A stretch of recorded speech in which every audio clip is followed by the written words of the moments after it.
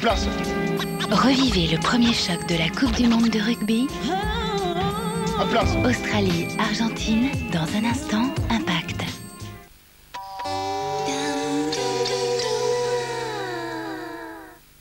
L'histoire de Cerise par Groupama.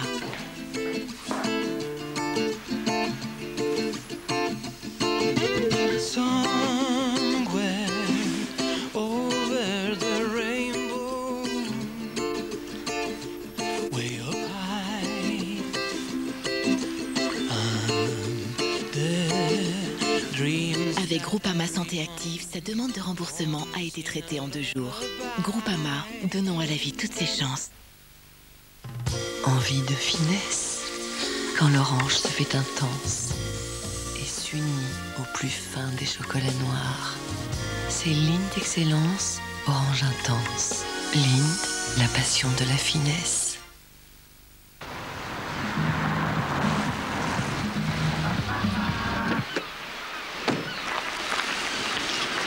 Bonjour, c'est combien les, les glaces?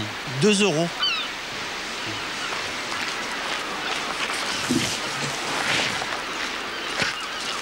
Avec Citroën, on prend vite l'habitude d'en avoir plus pour le même prix. C3 pack clim au prix de C3 pack ambiance, soit 950 euros d'économie. Portes ouvertes ce week-end.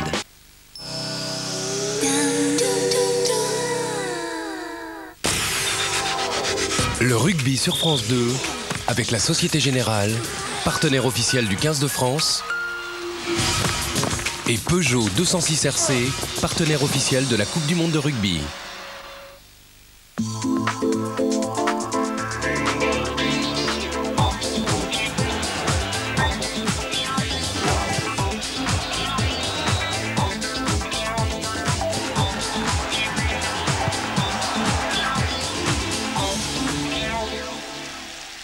Bonsoir, la Coupe du Monde est lancée sur France Télévisions. Bienvenue euh, en cette nuit de vendredi à samedi.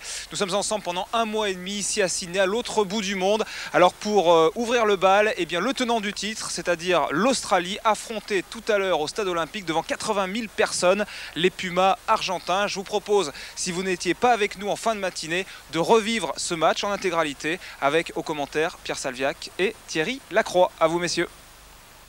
C'est Flatley, trois quarts centre de l'équipe d'Australie qui va donner le coup d'envoi pour les Wallabies. On est tapé à l'opposé des avants. Original ce coup d'envoi. Récupéré déjà par Flatley qui avait buté. Premier Gregan. mouvement. Les Australiens déjà tout près de la ligne des 22 mètres des Pumas. Gregan, le capitaine. Dans le fermé jouent les Australiens. Lions. Gregan. Larkham pour Burke. Sailor plaqué.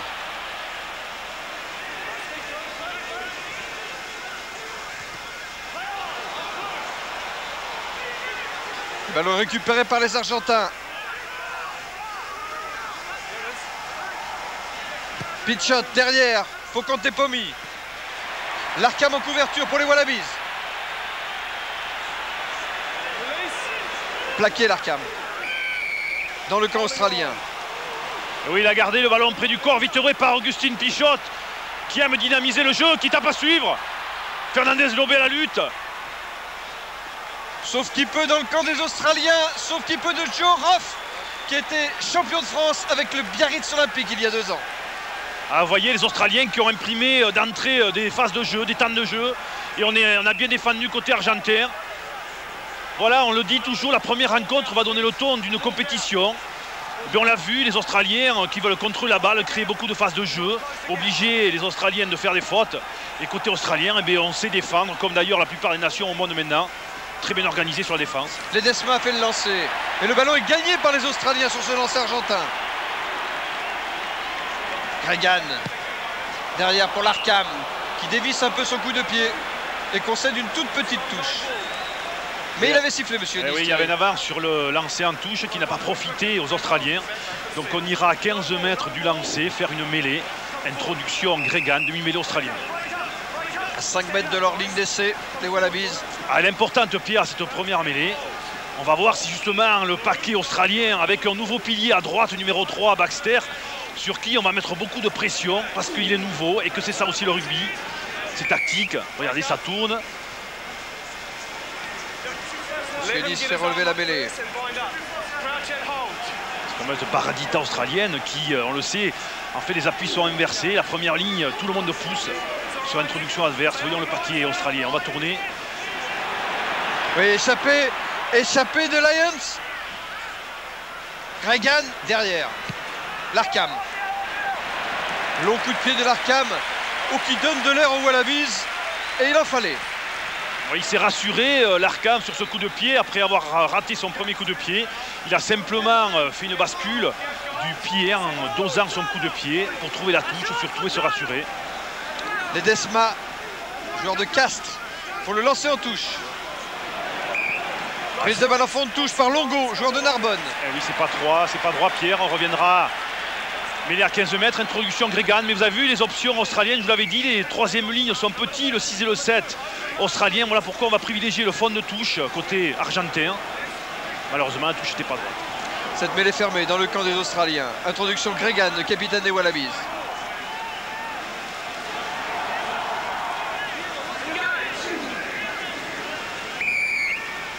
Elle tourne la mêlée, il y a faute. Coup franc rapidement par Lyons, le remplaçant de Kefou. Il est puissant, il a échappé à trois Argentins. Plaqué sur la ligne médiane, Lyons. Cregan pour l'Arcam qui passe entre deux défenseurs, trouve à l'intérieur, c'est l'or. L'international résiste. Récupération pitch shot pour les Argentins, coup de sifflet de Monsieur Nice, pénalité. Et eh oui, on est venu sur les côtés du groupement. On va rappeler la règle et d'ailleurs, on vous en reparlera tout au long de la Coupe du Monde. Parce qu'à partir de cette nouvelle règle, vous allez voir que les équipes ont mis euh, des systèmes de jeu bien en place. Rappelons la règle, on n'a pas le droit de venir sur les côtés du groupement, mais par l'arrière, surtout quand le groupement est fait d'un joueur porteur, d'un joueur soutien et d'un défenseur. C'était en l'occurrence le cas là.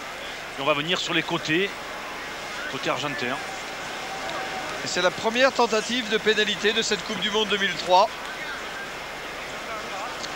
pour l'Australie. Coupe du Monde, on va vous le répéter souvent, basée sur l'offensive. On vous expliquera pourquoi dans les jours à venir. Vous avez vu l'Australie qui met beaucoup de jeux d'ailleurs. Elton Flatley, le buteur australien. C'est un demi d'ouverture de formation. Il occupe le poste de trois quarts centre parce que M. Stephen Larkham est revenu de blessure et il est le titulaire indiscutable de la sélection des Wallabies au poste d'ouverture.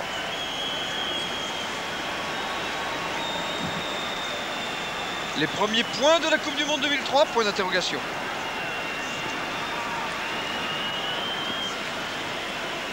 Elton Flatley, vice-capitaine des Wallabies.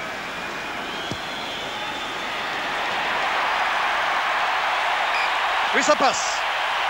Elton Flatley, premier réalisateur. Pénalité réussie. L'Australie ouvre la marque. 3-0 contre l'Argentine. Ici à Sydney. on concrétise la domination en ce début de partie. Les Australiens, pardon, les Argentins sont venus qu'une fois dans le camp australien. Alors que l'Australie a la main mise sur ce ballon en début de partie. Et quand on défend, eh c'est vrai qu'on commet des fautes. Felipe Conteponi pour la remise en jeu. Il y a deux Conteponi, deux ce sont des frères jumeaux d'ailleurs. Felipe à l'ouverture, que vous avez vu voter, et Manuel au centre. Tiffin à deux mains, Gregan pour l'Arkham. Longue sauté, pied gauche de Rogers. Rogers, l'ancien international trésiste, placé à l'arrière ce soir et qui trouve cette touche à hauteur de la ligne pointillée des 10 mètres. Le voici Rogers. Ah oui, on utilisera son pied gauche quand les mouvements viendront de droite à gauche parce qu'il est gaucher, que l'Arkham n'a que le pied droit qui lui on l'utilisera dans l'autre sens. Ledesma pour la remise en jeu la touche en faveur des Pumas. Une raccourci, c'est la première. On va avoir des soutiens des avants derrière les trois quarts. C'est pas très droit non plus. Mais récupération australienne, oh. non Ah, Conteponi maintenant Conteponi Conteponi qui slalom, qui entre dans les 22 mètres euh, de l'équipe d'Australie.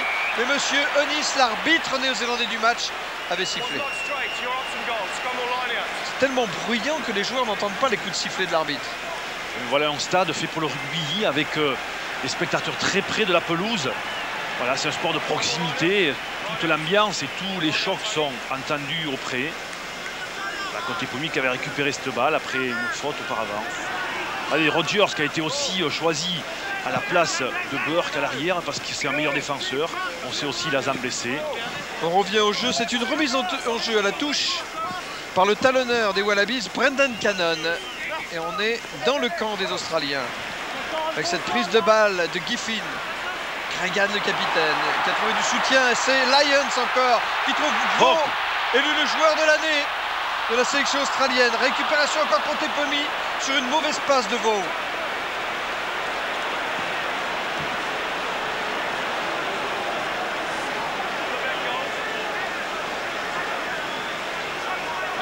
Contrôle, on travaille côté argentin en cœur, puisqu'on est sur les largeurs et sur les bordures côté australien, et bien on joue au cœur. Les Argentins Voilà. chez les Australiens maintenant. Oui, les Australiens d'ailleurs hors jeu chez les Argentins. Voilà, Monsieur Onis le signal. On est venu encore sur le côté du regroupement. Et on ne peut pas.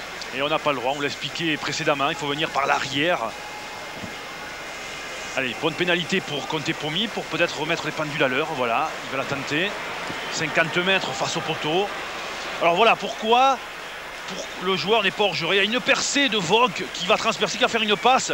Et Conte Pomi qui était là à la traîne, et bien hop, il se saisit du ballon, vous le voyez.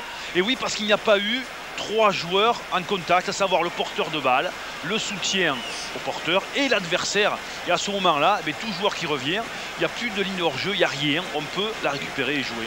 Felipe Contepomi, buteur de la sélection d'Argentine ce soir. Sur le banc des remplaçants figure Gonzalo Quesada, qui joue à Béziers, entraîné par Jean-Pierre Elissalde. Gonzalo Quesada, pour mémoire, avait été le héros et le réalisateur de la Coupe du Monde 1999.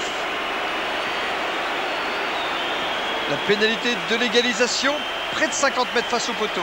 Tentative, Felipe Contepomi pour les Pumas. Non, ça ne passe pas. Toujours 3 à 0 en faveur de l'équipe d'Australie.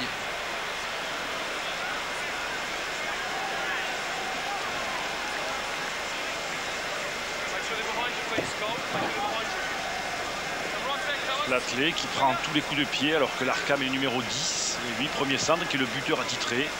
Grosse force de, de frappe, il va taper loin. Devant lui. Récupération. Piesek Nunes. Oh, il a récupéré en l'air d'ailleurs, bien joué. Pichot. Demi-mêlée du stade français. Desma au relais. Pichot encore. Antepomi a trouvé du soutien avec ses avants. Fernandez Lobé. Renversement de jeu. Antepomi. Oui, la balle pour Piosek. Il y a Corletto aussi au soutien. Oui, en avant, en avant sur l'action de jeu. On n'a pas réussi à déstabiliser la défense argentine sur ces deux impacts au milieu du terrain et ce renversement côté fermé. On verra d'ailleurs si c'est la tactique de jeu euh, argentine par la suite. Est-ce qu'on privilégie le centre et le renversement? Parce qu'on a en face peut-être des joueurs très mobiles et qui vont vite alimenter les extérieurs. Voilà pourquoi on joue le- renversement côté fermé, on verra. Cette mêlée fermée juste devant la ligne des 22 mètres de l'équipe d'Australie. Introduction Gregan. Lions. Balle au sol pour Gregan. Derrière pour l'Arkham. Burke. Dévissé un peu là, Burke. Petit problème effectivement dans le jeu au pied euh, au loin, Burke. côté australien. Ah vite joué par les Argentins. Albanese a joué cette balle rapidement pour Longo, son troisième ligne centre, mais Monsieur Eunice, l'arbitre du match, est intervenu.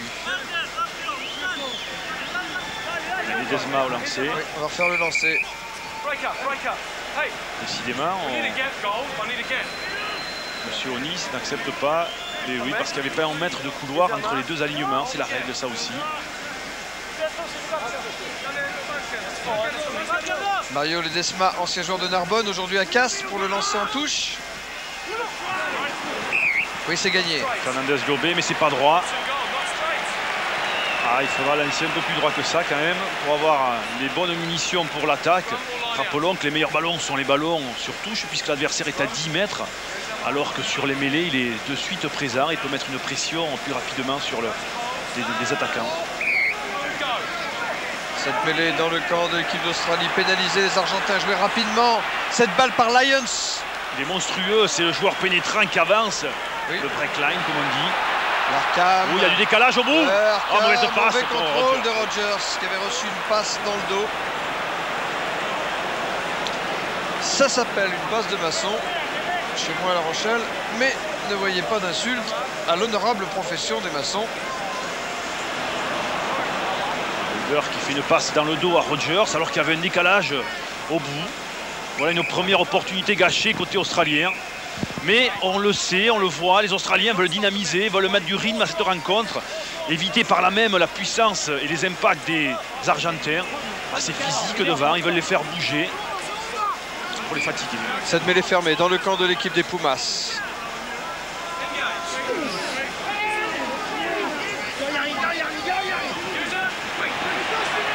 Et détourné, récupération Martine pour les Pumas. Et intervention de Monsieur Nice. Ah Oui, on le rappelle la règle aussi. Maintenant, on peut tourner les mêlées. Au contraire, c'est euh, tactique pour euh, pourrir, comme on dit, gêner les sorties de balle adverses. Par là même récupérer l'introduction, ce qui a été fait côté australien. Gregan. Toujours Lyon au départ. Ah, il traverse toujours, il fait le pas de plus qui permet à la défense argentine de reculer et de, à ses compatriotes de jouer en avant ça. Oh l'arcade l'a fait de tape pied. à suivre. Il y a du monde à l'aile. Il y a Rogers qui arrive à 200 à l'heure. Le TGV Rogers laisse la balle dans l'air de jeu et ça peut rebondir. Ah Burke Les Wallabies là sont menaçants. Saylor pour l'Arkham, pour Burke. Lyons encore, perforant Lyons. Gregan. L'Arkham. L'Arkham toujours. Ouais, intercepté en avant, sanctionné par Monsieur Nice, qui a peut-être sanctionné plus encore. Ouais, une position de hors-jeu sur le renversement de la ligne argentine. Ah, les intentions sont là, vous l'avez vu, beaucoup de rythme, beaucoup de passes. Les Australiens qui ont changé leur jeu d'ailleurs, puisqu'ils ont été champions du monde en 91 sur, en 91, pardon, sur un jeu restrictif. C'était le centre du terrain. Et puis Gregan qui faisait jouer dans les fringes, comme on dit, c'est-à-dire Aura, faisait jouer des avants puissants. Mais maintenant, on joue beaucoup plus aux extérieurs, ce qui libère des espaces d'ailleurs pour l'Arkham, dans l'alternance. Voilà va jouer au pied et passe pour éviter la touche de Rogers. Regardez, hop, voilà, elle n'est pas sortie. Vous avez remarqué que c'est Flatley donc euh, qui était désigné comme buteur numéro 1 de cette sélection d'Argentine, mais les Wallabies de cette sélection d'Australie, va-je dire. Mais les Wallabies ne manquent pas de buteur parce que derrière il y a un certain Matt Burke qui a été très longtemps le buteur attitré de cette euh, sélection australienne. Et puis il y a un certain Joe Roth qui pourrait bien lui aussi se mettre à beauté si d'aventure, Elton Flatley était dans un jour sans. Oui, Puisqu'il avait fait les beaux jours du Biarritz Olympique d'ailleurs, quand il avait joué en France. Il était le buteur. Il était le buteur. Flatley. La pénalité du 6 à 0 pour les Australiens. Et bien voilà, c'est fait. 6 pour l'Australie, 0 pour l'Argentine.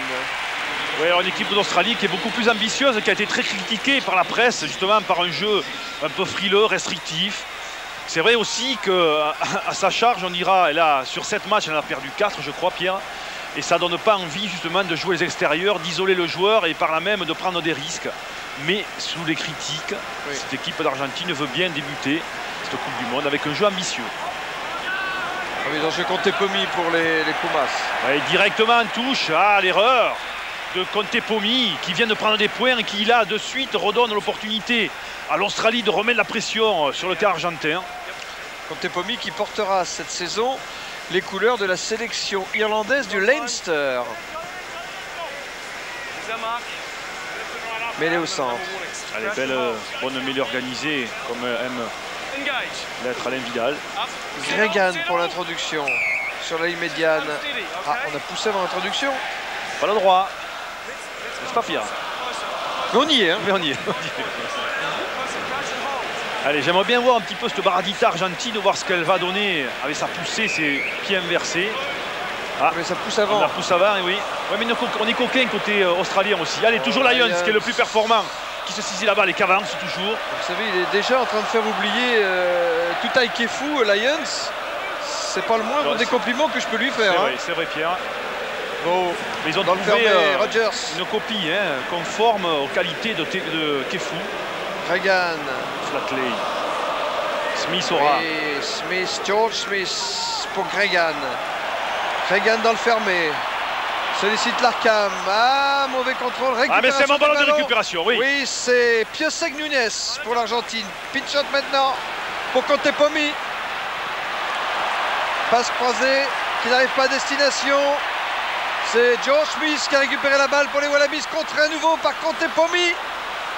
Le jeu ne demande que faute. Quelle pression des deux côtés. À la manière d'un footballeur pitch le capitaine argentin s'était emparé de cette balle. Mais Monsieur Nice a mis fin à l'action. Ah Oui, on partait dans le n'importe quoi. et Monsieur Onis a préféré revenir à la première faute, ne voyant plus aucun avantage, ni de l'un côté, ni de l'autre d'ailleurs. Il reviendra un premier en avant australien et une mêlée, bien sûr, argentine. Opportuniste, ces Argentins, on l'avait vu, dès qu'un ballon est tombé, c'est des morts de faim, on se jette sur la balle, un peu désordonné, c'est vrai. C'est un peu individuel, mais bon, ça, ça permet d'être dangereux aussi. Un des frères Contepomi là qui est touché. Le coup de docteur.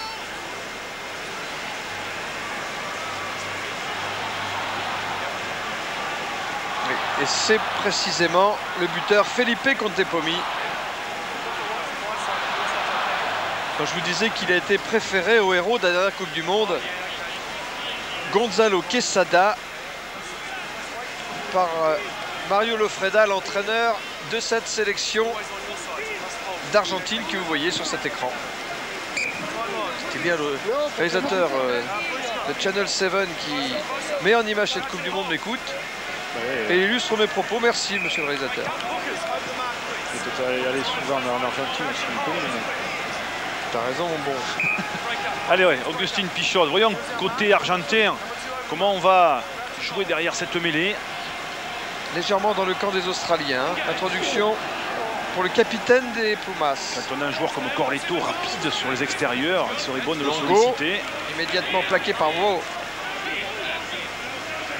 Pitchot au ras. Il y a du monde et ça libère bien. Pitchot. Corletto le voici. Récupération Sailor. L'ailier de l'équipe australienne. Ancienne star du rugby à 13 dans ce pays. Markham. Oui pour Burke a retrouvé d'ailleurs Roth. C'est Orof. Oh, il va vite, passe intérieur. Oui, pour Flatley. Roth maintenant. Regardez ce jeu fait sur les Lions. largeurs qui a du surnombre. Oh oui, ça peut être dangereux. George Smith dans les 22 mètres. Il y a le feu. Il y a le feu chez les Pumas. Rogers. Regan. Regan feinte la passe, se fait prendre. Oui, toujours le contrôle de balle côté Australie. Beau. Smith.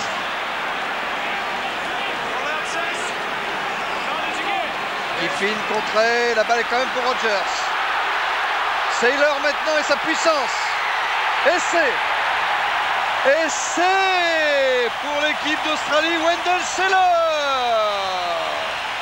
Ainsi critiqué par la presse australienne qui lui trouvait des lacunes. Il vient du 13, c'est vrai. On disait qu'il se fera jamais à 15.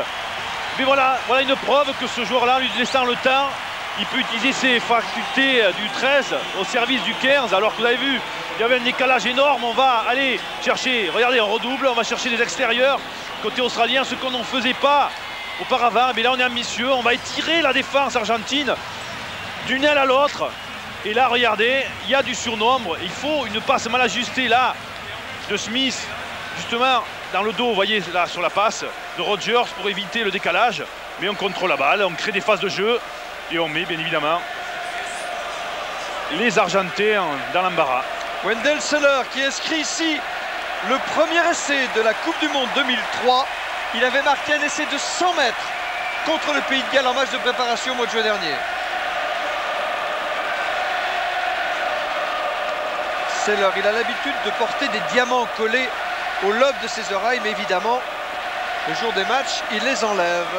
Oui, il se l'est fait tout seul cet essai puisqu'il a échappé à trois Argentins. Voilà une arme redoutable côté australien. La puissance physique de Saylor. Elton Flatley pour la transformation difficile, complètement en coin.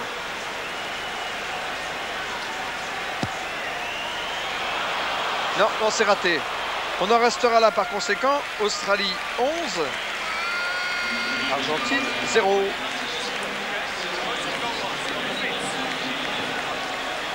Oui. Et l'Argentine qui pour l'instant vit de rien.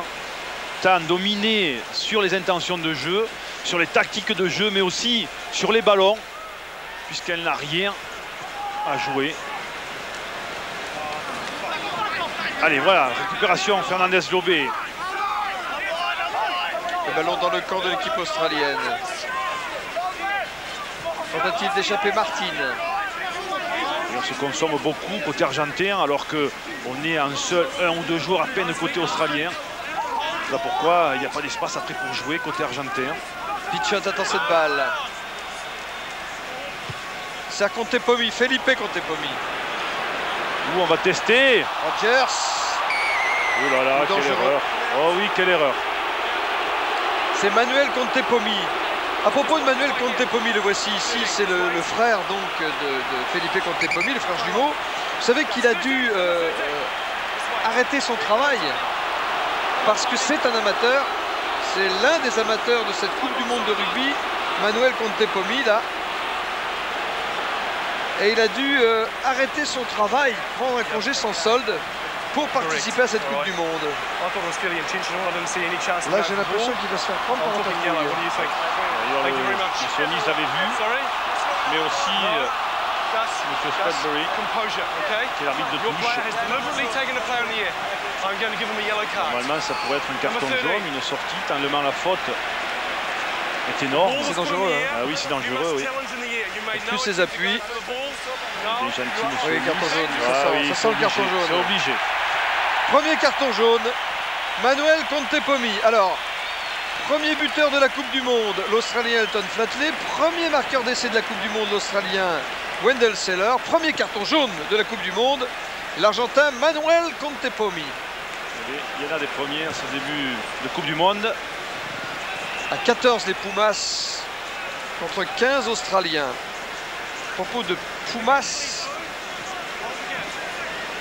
vous savez que c'est le nom de la sélection, mais le félin qui est brodé au-dessus des initiales de la fédération sur le maillot, c'est un jaguar. Félan n'a pas pu contrôler cette balle en fond de touche. Pour les Argentins, il y a en avant, il y a donc mêlée. Cette mêlée sera juste devant la ligne des 22 mètres de la sélection australienne. Voici Félan qui n'a pas réussi à contrôler cette balle. Alors va-t-on utiliser le surnombre côté australien et mettre le feu dans les 22 mètres? Oui, il a encore poussé très vite et une fois de plus, le perforant Lions. Trois joueurs pour l'arrêter. Si les ballons sont dynamiques, comme il le sort, avec du décalage derrière, attention. L'arcam pour Rogers, qui slalom, qui passe la ligne médiane pour les Wallabies, qui reçoit du soutien. La balle est extraite ou non? Et hors jeu côté argentin, on a estimé, monsieur Nice, que le porteur de balle a gardé la balle au sol. En l'occurrence, Rogers. Écoutez, gagnons du temps côté argentin, on est à 14. Il faut laisser courir la, montre pour qu'on puisse retrouver Contepomi et jouer à 15. Alors qu'il faut au contraire dynamiser côté australien pour profiter du surnombre. Felipe Contepomi. Contepomi qui occupe aujourd'hui la place qu'aurait dû occuper normalement Lissandro Arbissou. Malheureux Lissandro Arbissou, capitaine de l'équipe euh, d'Argentine depuis des lustres, et qui s'est blessé gravement dans un match de préparation juste, juste avant le départ de la Coupe du Monde. Alors que là, vous voyez euh, caché sous son anorak le fameux Toutai Kefu, grand absent de la sélection australienne, mais largement et bien représenté ce soir par un certain David Lyons, dont nous avons beaucoup eu l'occasion de vous parler. Depuis le coup d'envoi. C'est Longo qui relais. gagnait la balle avec le relais de Grao, oui. Martin, Martin, dans les 22 mètres de l'équipe d'Australie, tout ça. Pénalisé les Australiens. Pénalisé Thierry. Et oui, on s'est retrouvé en faute d'alignement, le relayeur, au-delà des 15 mètres, qui est venu intervenir dans l'alignement. Il n'avait pas le droit. Ce qu'explique M. Nice. Donc une pénalité sur la ligne des 22 mètres. en coin que va tenter Felipe Contepomi. Et L'occasion pour lui d'ouvrir le score en faveur de la sélection argentine. En tout cas, les Argentins qui avaient annoncé la couleur en disant on va les priver de ballon en touche, on va leur mettre une grosse pression en mêlée. Mais le début de partie n'est pas du tout dans ce qu'ils espéraient, puisque c'est au contraire les Australiens qui ont la meilleure mise sur la rencontre. Réduit à 14, on pouvait craindre que les Australiens paient le prix fort. Cette euh, suspension temporaire de Manuel Contepomi, eh bien, peut-être vont-ils arriver à marquer 3 points si le frère, en l'occurrence Felipe Contepomi, réussit cette pénalité. Le mec qui joue à 14 alors. Il va leur recommander si ça continue.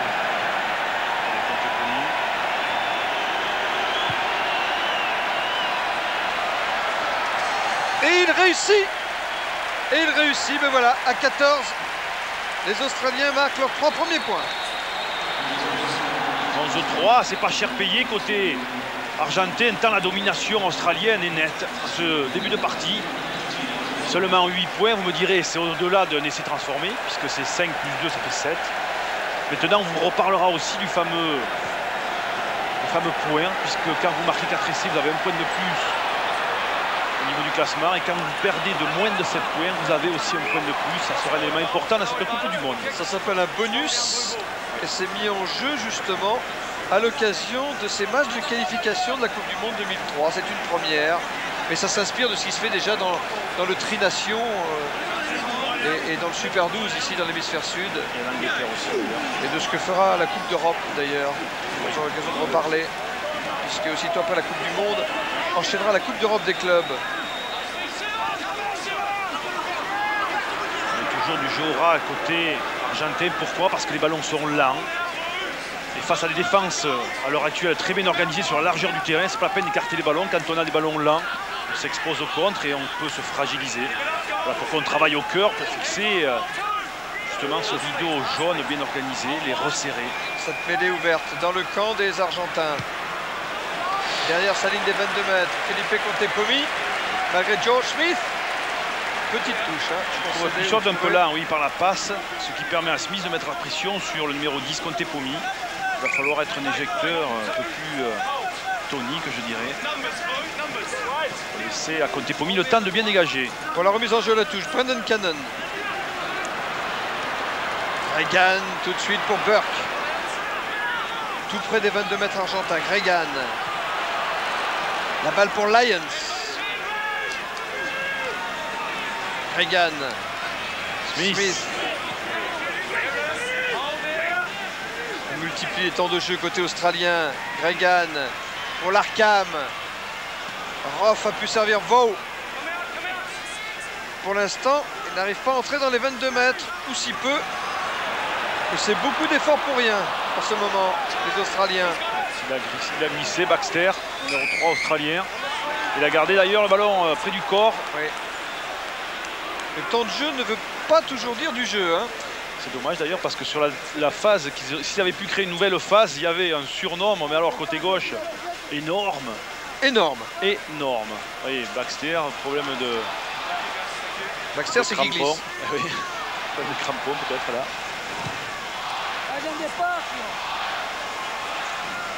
En ce temps, les Argentins en ont profité pour euh, dégager en touche par Felipe Contepomi. Se donnait un peu d'air. Les Australiens, rendez-vous compte cette saison, 7 matchs, 6 victoires, dont 2 contre la France à Buenos Aires, au mois de juin dernier. Une défaite à Port-Elizabeth contre les Springboks, mais vraiment volée à la dernière minute par une pénalité généreusement accordée au buteur des Sud-Africains, M. Cohn. Et alors qu'on revient encore à une touche pas droite de Ledesma, décidément. Il y a eu 4 ou 5 touches, pas une seule droite.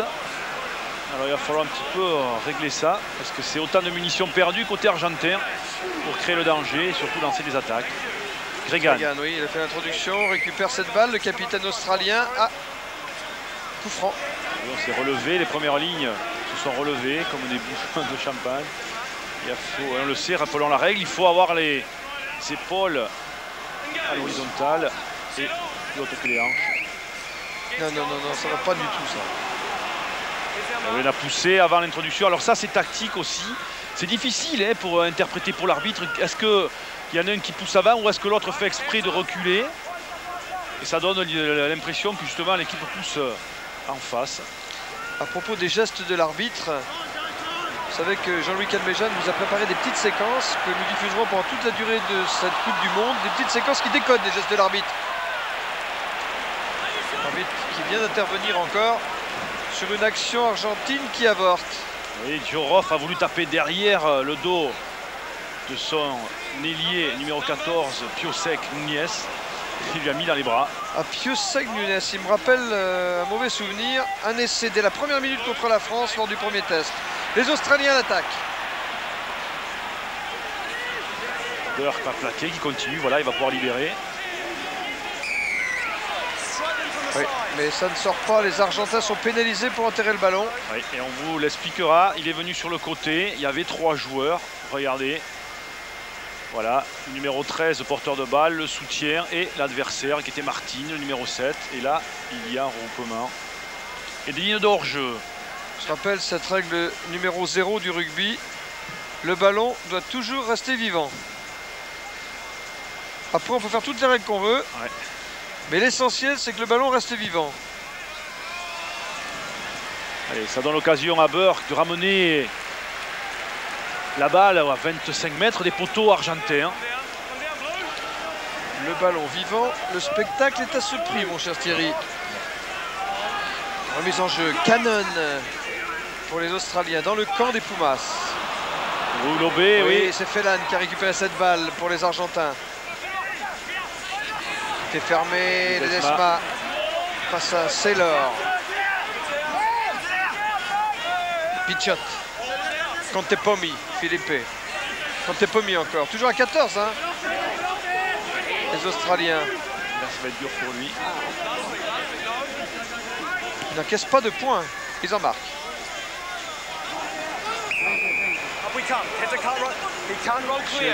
a sifflé en faveur des Argentins.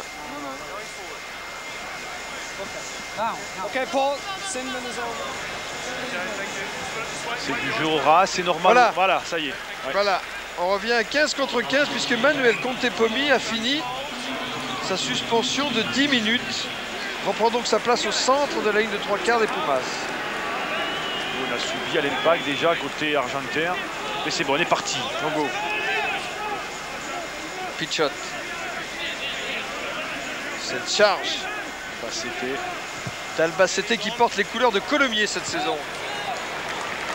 Le jeune deuxième ligne argentin qui est un peu la sélection surprise d'ailleurs de ce match d'ouverture dans l'équipe des Pumas, mais qui s'est révélé notamment contre la France à l'occasion des tournées de préparation. Mario Lofreda ici, Marcello je veux dire Lofreda, coach de cette équipe d'Argentine, qui doit faire d'ailleurs des sessions d'entraînement des Pumas en Europe, puisque la plupart d'entre eux, comme on vous l'a dit, évoluent en France ou, ou pour quelques-uns d'entre eux en Angleterre et maintenant en Irlande, puisque Felipe Conteponi a signé à Dublin. Et prise de balle fine pour l'équipe d'Australie. en milieu, on va mettre la pression, essayer de resserrer cette défense argentine en les travaillant au cœur, au milieu, pour peut-être permettre à un joueur de s'échapper si c'est pas écroulé. Reagan, Rogers, qui Rogers, croise. pour Saylor, l'autre trésiste. On sent euh, dans le. Et oui, il a gardé le ballon près du corps. Alors qu'on sentait les gens frémir dans les tribunes dès que Saylor touche un ballon. Touché Fernandez Yobé, me semble-t-il, le deuxième ligne de l'équipe d'Australie qui joue plus souvent troisième ligne centre, non Ouais. à, à Castres à Castres, oui. Jeu numéro 8, joueur polyvalent. Oui, puisqu'il est réputé euh, pouvoir jouer deuxième ligne, flanqueur ou numéro 8. Il a même joué au rugby à 7. C'est qu'il doit être à droite de ses mains.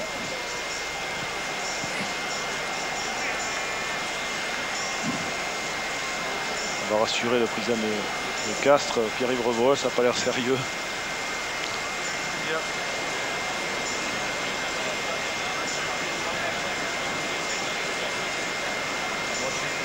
Non. Ça a l'air d'aller. D'ailleurs, le championnat va reprendre en France, hein, Pierre, hein, puisqu'il y avait le Challenge Sud Radio là jusqu'à maintenant. Et on va avoir droit au championnat maintenant, après euh, pendant cette Coupe du Monde. Si vous parlez de Sud Radio, ils font partie des, des radios de France qui sont partenaires de France Télévisions avec RMC Info à l'occasion de cette Coupe du Monde. Donc nous saluons nos confrères de la radio qui partagent avec nous nos locaux ici à Sydney. Créant ainsi une ambassade de l'audiovisuel français à Sydney. Conte Pomi. Occasion de rapprocher les Pumas. Non. Non, ça ne passe pas. Conte Pomi échoue par conséquent. Oui, d'ailleurs, on l'a entendu dans, notre casque avant que le ballon parte. C'est agréable. On ne dira pas le mot qu'il y a eu, mais c'était agréable d'entendre quelques mots français. Allez, Ramoilon de Flatley. Message personnel à Fabrice Collin, notre chef d'édition. On entend tout dans les oreilles. Ouais, un retour sympathique. Ah, prise de- à deux mains dans les airs de Rogers. Regan pour l'Arcam. Charpaval. Oui, Pichot. Récupération argentine. Oui, Fernandez Jobé a pu servir. Felipe Contepomi. Pour Corletto maintenant. Corletto pour Manuel Contepomi. Plaqué par les deux sécateurs australiens que sont Vaux et Smith. Ils sont là pour ça d'ailleurs, des petits gabarits, mais Martin. des fans et très mobiles. Martin encore, qui égale avec 84 sélections le record de sélection d'Arbissou. Aujourd'hui, Martin, C'est tous consommé dans le regroupement. Il n'y a pas un seul joueur sur la largeur. Côté argentin, on va être obligé de jouer comme ça, voilà, au pied. en couverture, il y a qui peut donner à Saylor, qui peut relancer pour l'équipe d'Australie, car il a le soutien de Rogers. Rogers se débarrasse du ballon, parce que ça, c'est vraiment se débarrasser du ballon. Mais pas trop mal quand même. Mais le rebond lui est favorable, et à l'arrivée, ça fait une superbe touche pour les Wallabies. Ah, on sent qu'il y a des intentions. Maintenant, il manque un ou deux joueurs pour aller au bout des actions côté australien, puisque l'initiative a été lancée justement par euh, Joe Roth avec ce longue passe sur Saylor. Et on avait un décalage. Regardez, Saylor. Et là, il y avait un petit décalage. Il y a un seul défenseur l'Argentin qui vient, qui est le plus rapide, alors qu'il y avait un très grand espace que vous voyez là à droite. Mais non, a préféré jouer au pied. Attention à cette équipe d'Australie qui euh, est en confiance et veut mettre le feu au terrain. Et Desma pour la remise en jeu, la touche. Le B Oh là là Contepomi récupère quand même le ballon, mais ça ne va pas trop bien dans l'alignement argentin en ce moment. Carletto, Oui, sous la pression de Gregan qui dévisse, qui euh, rate et prend trop extérieur son ballon. oui parce que sur cette affaire, les Argentins perdent le ballon et n'ont pas gagné un mètre. Je peux vous dire que Christophe Furios, sa casque, il va faire travailler le lancer s'il continue comme ça. Parce que là, quand même, à ce niveau de la compétition, 6 ou 7 lancés en touche, pas un seul ballon récupéré. Cannon pour Lions qui a servi Gregan. L'Arcam maintenant. L'Arcam Traverse. toujours. Les Australiens dans les 22 mètres. Récupération Pitchett. Le capitaine qui peut servir Corletto pour une contre-attaque des Pumas. Corletto qui est sorti de ses 22 mètres. Et qui s'est fait prendre la balle par Smith. Smith pour l'Arcam. Et intervention de Monsieur Ennis. Alors voilà, on, on reviendra un petit peu à- aux fameuses règles où on, où on doit laisser l'interprétation à l'arbitre. Y avait-il avantage ou pas? En tout cas, M. Onis a estimé que non, alors que Corletto avait, avait beaucoup d'espace au niveau du 10, l'Arcam. On le voit sur ces images de l'équipe à Fred Godard, l'excellent Fred Godard, génie de la télé. N'en rajoute pas trop quand même, Thierry. Après, il va plus sortir de- du studio. Il passera par la porte. Ah, ce qu'il réalise euh, au niveau des studios, c'est remarquable. Ah, mais Mêlé dans les 22 mètres. il faut aussi facile. Mêlé hein. dans les 22 mètres argentins. Pichot a fait l'introduction. Pichot pour compter Pomi. Il y a le feu, hein, Pierre, à côté argentin. Dès qu'on a un ballon, quand même, on est sous pression. On a du mal à sortir de cette emprise australienne. Pomi a quand même réussi à donner un peu d'air à son équipe puisque c'est une touche à 40 mètres de la ligne d'essai des Pumas. Avec une remise en jeu canon pour les Wallabies. Alors, fait marquant, on va détacher un troisième ligne côté argentin dans les trois quarts pour aider justement côté Pommier en défense, puisqu'à son niveau-là, on est souvent passé. Et bien, on a rajouté Martin pour défendre un peu mieux au ras, puisqu'on le voit à l'heure actuelle, les, les Australiens jouent au niveau du 10 adverse. Ils ont trouvé des failles et oui, on a talonné à la main côté argentin, pénalisé et une pénalité bien placée d'ailleurs. Pénalité que va tenter Elton Flatley, par conséquent le buteur de la sélection australienne. Vous voyez qu'on a bien fait de mettre Martin au niveau du 10, puisque c'est lui qui est intervenu sur le premier défenseur, en l'occurrence Roth qui était venu en position de 10. Voilà comment on s'adapte aussi côté argentin quand on a des faiblesses dans une zone. On rajoute un joueur. Flatley qui va tenter cette pénalité, Flatley. Figurez-vous qu'il était suspendu au lendemain du match contre le Pays de Galles en juin dernier, tout simplement puisqu'il avait zappé une séance d'entraînement au lendemain de la victoire. Il avait dû passer quelques heures euh, dans les pubs et il n'a jamais retrouvé le chemin d'entraînement. Ça se comprend. Puis les routes sont longues ici. hein. Puis les bars sont longs aussi. Je crois qu'il y a un bar à Sydney qui détient le record de, de longueur. C'est le bar le plus long du monde. En tout cas, c'est pas le coup de pied le plus long du monde que Flatley va taper. Il est face au poteau à 38 mètres.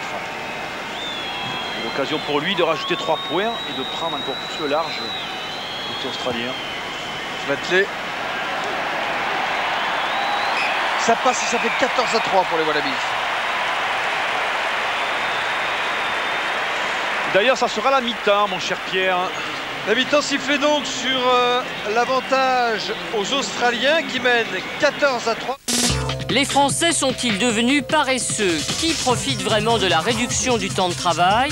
Quand la France va mal, déficit, chômage, est-ce la faute des 35 heures Faut-il être une star ou un séducteur pour être élu Les politiques font tout pour plaire et être aimés. Ils s'affichent en famille, s'appuient sur leurs femmes. L'image et la communication sont-elles plus importantes que le discours politique Débat dans mots croisés, lundi soir sur France 2. La Coupe du Monde de rugby sur France 2 avec la Société Générale et Peugeot 206 RC.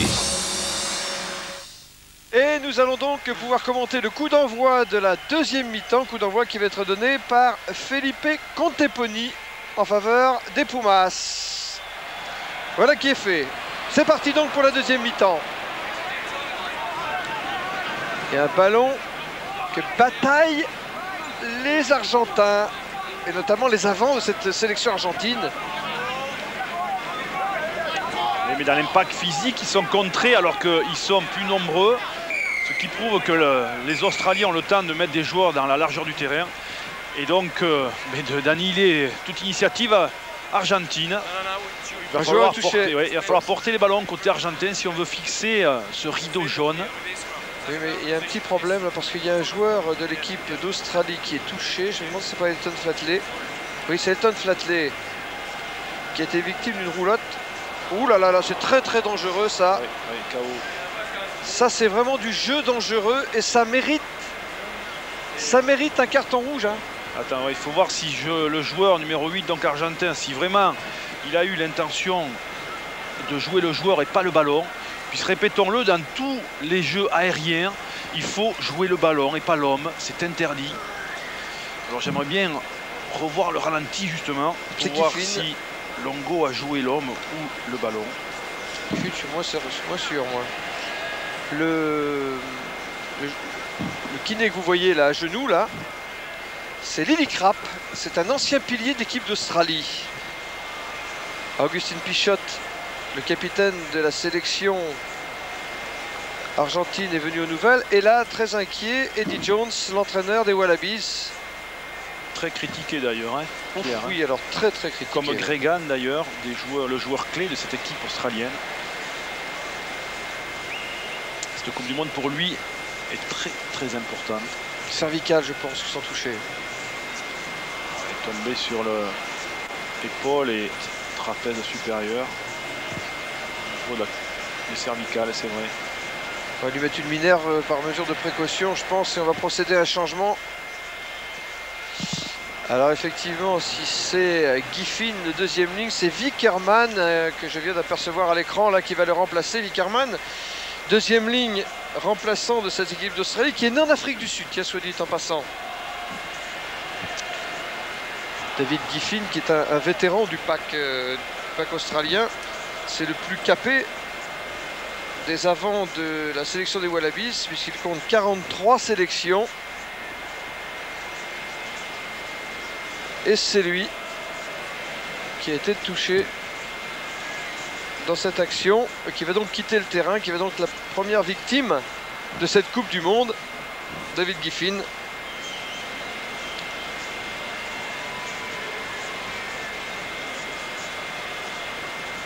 Accident qui arrive sur tous les sauts, pas que dans le rugby, bien évidemment. Tous les sports où vous êtes obligé de lutter hein, dans les airs, de sauter. Si vous retombez mal, comme lui là, d'ailleurs, pouvez vous blesser de la même façon. En tout cas, ça va permettre cet arrêt de peut-être de réfléchir un petit peu au jeu côté argentin, parce qu'on n'a pas trouvé de faille.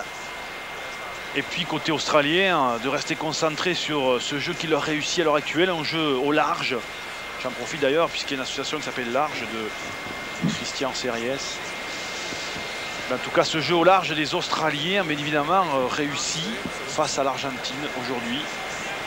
Et moi, je profite de cet arrêt de jeu pour vous donner le programme de demain, parce que demain, nous allons vous proposer trois matchs en direct. Le premier...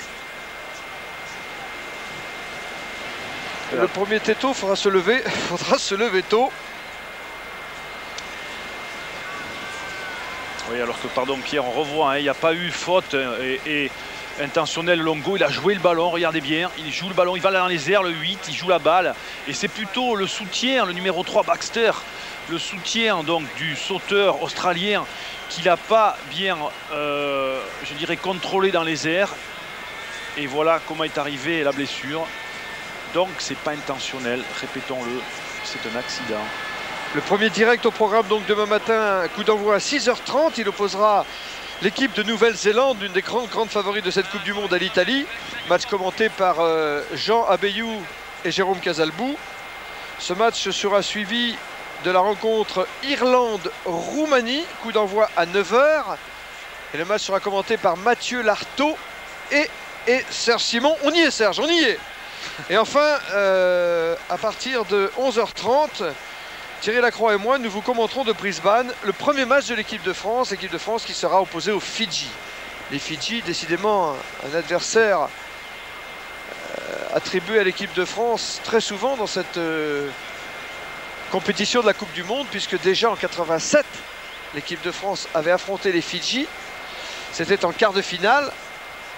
Et elle avait gagné comme par miracle, parce que si Koron Douandua, l'ailier euh, fidjien, n'avait pas manqué essai tout fait, eh bien la France pouvait se rhabiller. La France qui a retrouvé d'ailleurs les Fidji en, en match éliminatoire lors de la Coupe du Monde 91 et qui les a retrouvés lors de la dernière Coupe du Monde 99 et chaque fois, et chaque fois en se faisant beaucoup beaucoup de soucis. Alors qu'on apporte des soins à David Giffin, que le match est interrompu, je regarde euh, cette sélection d'Argentine et je constate qu'elle a fait d'énormes progrès au cours de ces dernières années. Depuis l'apparition du professionnalisme, en fait, on peut dire qu'il y a trois périodes dans le rugby argentin. Il y a, il y a l'avant Hugo Porta, il y a la décennie Hugo Porta et il y a l'après Hugo Porta. Hugo Porta qui était la figure emblématique du rugby argentin parce que c'est un excellent buteur et que souvent les Pumas gagnaient grâce à son coup de botte. Les Argentins maintenant ont élargi sans doute leur euh, palette de talent et sont beaucoup plus compétitifs puisque rappelez-vous lors de la dernière Coupe du Monde en 99 alors qu'ils avaient déjà fait le match d'ouverture contre le Pays de Galles à Cardiff lors de la dernière Coupe du Monde en 99 ils avaient éliminé en match de barrage l'équipe d'Irlande ce qui n'est pas la moindre des performances Oui, le renouveau argentin passe justement par cette génération de joueurs qui a besoin de prouver à l'échelle internationale, puisque d'ailleurs, je crois, ils veulent rentrer dans le, la Trination, je crois, Pierre. hein. Ils veulent alors à ce propos, euh, que disent les trois autres nations, en l'occurrence la Nouvelle-Zélande, l'Australie et l'Afrique du Sud? Oui sur le plan sportif, oui mais parce qu'ils se rendent bien compte que compte tenu de la situation économique d'Argentine en ce moment, il n'y a pas d'argent à faire et comme le rugby est devenu un business, évidemment, ils ne sont pas trop pressés quand même d'ajouter l'Argentine parce qu'il faudra partager l'oseille Et il n'en rentrera pas davantage. Mais c'est bien résumé en tout cas. on, Allez, Augustin évacue, Pichot. on évacue David Ouais. Giffin avec une, avec une Minerve par mesure de précaution. Je l'espère que c'est uniquement par mesure de précaution. En tout cas, c'est la première victime, David Giffin, de cette Coupe du Monde 2003. Qui est donc remplacé par Vickerman. Alors que Pitchat a fait l'introduction sur cette mêlée fermée. Lions récupère le ballon pour les Wallabies. Ça, c'est une insulte côté argentin, puisque la force, c'est sa mêlée. Mais se faire prendre la balle sur introduction. C'était un long coup de pied de Rogers. Corletto à la réception dans ses 22 mètres. Allez, elle gagne terrain, on renvoie la balle. Récupération de Burke avec l'Arcam. Fait dans les 22 mètres. Que va-t-il faire l'Arcam Il dégage et il trouve une touche. Et il trouve une belle touche. Stephen Larkham que ses équipiers appelaient le fantôme quand il était cadet pour sa capacité à arriver de nulle part au bon moment et conclure une action au bon moment. Fantôme vient de trouver cette touche. Les joueurs clés, joueurs qui aiment porter la balle et par là même créer le danger. Desma pour la remise en jeu. D'ailleurs, Gregan est aussi un animateur qui aime porter la balle. Mais près de ses avants. Allez, récupération, euh, Fernandez Yobé. Voilà, on s'organise autour de lui. Et on prend la pression australienne sur les impacts. Conte Pomi au pied. Il n'a pas contrôlé Rogers. Heureusement que Saylor est là. Oh, il est Saylor passé. contre-attaque. En force, Saylor, accroché par une cuillère d'un défenseur argentin peut donner à Gregan. Gregan pour l'Arcam. L'Arcam pour Roger Fatley. Contre de Conte Pomi pour l'équipe d'Argentine. En couverture, Smith. Il contrôle la balle de manière acrobatique avec talent. Smith, il peut servir Gregan.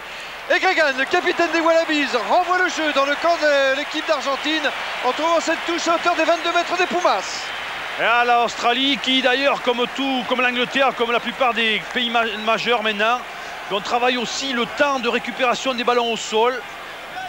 Vous allez voir là, la percée, une cuillère, la cuillère en fait c'est voilà hop, c'est le petit coup de main sur la cheville qui déséquilibre le joueur. Et derrière vous allez voir justement après euh, ce petit carton qu'a pris euh, Flatley, récupération, se jeter la balle, Smith s'est jeté dessus et se relever en suivant. C'est deux secondes gagnées, c'est autant pour avoir un bon ballon derrière. On est revenu au jeu. Conte Pomi de ses 22 mètres renvoie le jeu dans le camp de l'équipe d'Australie. Saylor pour la contre-attaque. L'auteur de l'essai australien en première mi-temps. Saylor plaqué. Le jeu dans le camp des Wallabies. Gregan. Gregan pour Roff. Roff loin devant. Mais trop, trop, Si ça ne gagne pas, ça débarrasse, mais c'est direct. Donc on revient à l'endroit où le coup de pied était donné pour cette touche. Eh oui, la règle dit qu'on n'est pas dans les 22 mètres, il faut que le ballon rebondisse dans l'air de jeu avant de sortir. Et en l'o- en l'occurrence, il a rebondi en dehors de l'air de jeu. Pourquoi il y a la touche à l'endroit où le ballon était botté. Et ça vous fait il a rire, échappé. Autre chose d'ailleurs. En tout cas, il a échappé à deux joueurs argentins. C'est l'or, il est dangereux, ballon porté. Et ça va être une arme redoutable dans cette Coupe du Monde, le numéro 14 australien. Shark attaque cette balle face à Fernandez Liobé. Le ballon ne sort pas et Monsieur Nice intervient. Faute. On a du mal hein, à récupérer les ballons côté argentin sur Oui, toutes les touches. On va refaire cette mêlée. Il va y avoir du boulot à la semaine- dans la semaine, là, côté euh, lanceur argentin. Les Argentins qui sont dans la poule de la mort, on appelle ça la poule A, parce que il y a l'Australie, mais il y a aussi l'Irlande. Et il n'y a que deux places qualificatives pour les quarts de finale. Ils sont trois à, la vouloir, à les vouloir ces deux places qualificatives.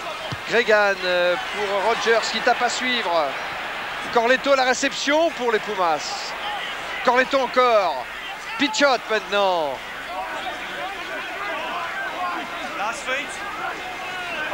Beaucoup de joueurs argentins consommés sur Oupoma. Corletto pris son demi-mêlée. Peu de choix que le pied, voilà. Quand Pomi c'est fait. Réception Roff en deux temps pour l'équipe d'Australie. Roff dans ses 22 mètres. Roff du pied gauche. Loin devant dans les bras de Corletto qui contre-attaque pour les Pumas. Non. Dégage en touche. C'est du rugby football, mesdames et messieurs. Rogers à la réception. Eh ben dites donc. Pas avec ça qu'on va marquer le bonus ce soir. Le bonus, je vous le rappelle, c'est au moins 4 essais dans un match pour une équipe ou alors, ou alors une défaite par 7 points ou moins de 7 points. Et là, pour l'instant, effectivement, les Argentins peuvent espérer le bonus parce qu'ils n'ont que 11 points de retard. Et le match est loin d'être terminé. Ah oui, alors que c'est mis en position de hors-jeu par Canon sur euh, ce jeu au pied à gagner du terrain. La balle est sortie en touche, à hauteur de la ligne des 22 mètres. Ce dégagement de Felipe Contepomi. Le lancer sera pour Cannon, le talonneur australien. Non, pardon, autant pour moi. Le lancer sera pour euh, Mario Ledesma, le talonneur argentin. Sur les 22 mètres australiens. Martin. Martin qui entre dans les 22 mètres de l'équipe d'Australie. Pitch shot maintenant. Pression sur les impacts des Australiens qui retardent tous les ballons. Shot avec euh, Hassan, le pilier à gener de cette équipe d'Argentine qui a d'ailleurs un passeport français, soit dit en passant. Le drop Le drop contre Tepomi Non. C'était bien tenté, mais ça ne passe pas. Ça, c'est une preuve aussi euh, qu'on subit sur tous les impacts, qu'on se consomme beaucoup en nombre, notamment côté argentin, et qu'on n'a plus trop de solutions de jeu parce qu'on n'a plus de joueurs disponibles pour faire d'autres phases de jeu. Et bien, on en revient au drop parce qu'on n'est pas loin placé des poteaux. En rappelant quand même euh, à vous, Thierry Lacroix, qui êtes le cinquième réalisateur de toutes les Coupes du Monde confondues, que le drop fait partie du jeu. Oui, c'était pas ma spécialité d'ailleurs. Corletto. Allez, grande chandelle de. Corletto dans les airs. Puisque vous parlez de Pierre Alba des Jeux, il fera son retour à la télévision à l'occasion de cette Coupe du Monde, puisqu'il nous a promis d'être l'un de nos chroniqueurs pendant nos émissions du week-end lors de la deuxième partie de la Coupe du Monde 2003. Nous l'accueillerons avec plaisir dans nos studios de France Télévisions ici à Sydney. Attention l'argent, allez Oui. Les Australiens, il y a du décalage au bout C'est faux qui peut En avant à- oh, oh, oh là là là Passe en avant de Voporov. Il était bien placé, monsieur Onis. Et forcément, il va siffler en avant. Quelle occasion gâchée Ah oui, il a fait le plus dur. hein. Ah, il y avait 5 Australiens, il a trouvé le moyen d'attendre le dernier moment pour libérer le joueur le plus rapide sur l'extérieur, alors qu'une fois de plus, regardez, Saylor qui échappe à 1, 2, 3 Argentins, il en faut 3 pour l'arrêter. Derrière, et bien, voilà, passe intérieure, Smith, passe lobé, et Vork. Cap... Ah, mais c'est Ah pas c'était Young le pilier. Eh. C'était Young le pilier. Ah oui, je me disais Ouais. quand même parce que Mo, il est quand même euh, Ils plus rugby que regardez, ça. Ils sont l'un derrière l'autre, ils ont la même tignasse blonde. Il est plus rugby que ça. Non, c'est Bill Young le pilier. Évidemment, un pilier, on lui pardonnera un peu plus. Ah, quand même, les piliers modernes, maintenant, quand même, ça sait faire des passes. Marqué avant aussi, on va pas critiquer. J'allais dire un Garuche qui sait pas faire de passe. Quand on voit ce qu'il a fait sur euh, l'essai extraordinaire marqué par euh, Serge Blanco à la fin d'une demi-finale gagnée par la France contre l'Australie au Concorde Oval de Sydney en 87. On est passé devant, ça nous a laissé de bons souvenirs d'ailleurs. Longo pour l'équipe d'Argentine. Ah, sur les impacts, on subit côté euh, argentin. Contepomi, la balle sort en touche. À 40 mètres de la ligne d'essai des Argentins. Contepomi donne de l'air au Pumas. Mais la remise en jeu est pour Cannon. Le talonneur des Wallabies. Vous avez vu côté australien, le danger vient souvent quand il y a eu un plaquage ou deux loupés, notamment sur Saylor, où physiquement on arrive à jouer dans le dos de la défense et derrière tout s'enchaîne. Voilà la force aujourd'hui de cette équipe d'Australie. Au contraire, on subit des impacts côté argentin et par là même on ne peut pas créer du danger. Sharp avait gagné la balle en touche. Larkham dans le petit côté pour Roger. Saylor maintenant. Saylor encore. Saylor toujours. Déchaîné. hein.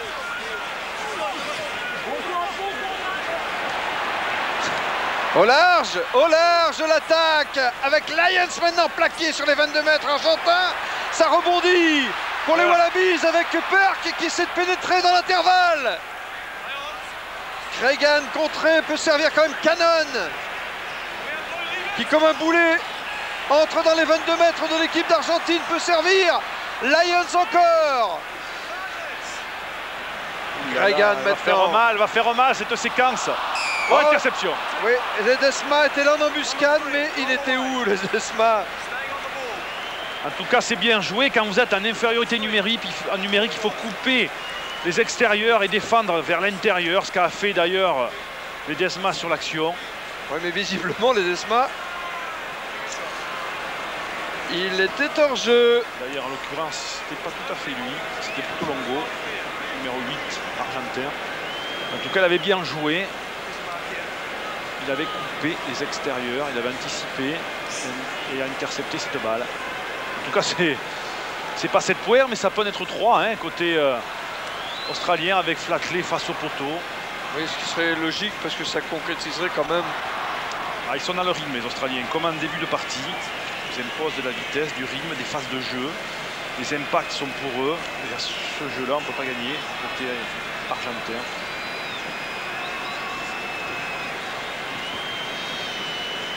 Pendant que l'athlète tente et réussit entre les poteaux la pénalité qui donne maintenant l'avantage 17 à 3 à l'Australie en faveur de l'Argentine. J'aimerais vous signaler la nouvelle formule de notre confrère Midi Olympique et son supplément spécial Coupe du Monde appelé l'Atlas. Pendant ce temps, Conte Pomu vient de faire la remise en jeu. Superbe prise à deux balles, on s'organise derrière. Côté australien, on avance toujours. Toujours avancé, avec ou sans ballon, sur tous les impacts. Et voilà la cocotte qui se met en marche. On va pas s'arrêter là. Oui, sur la ligne médiane, cette euh, mêlée. Gregan extrait la balle.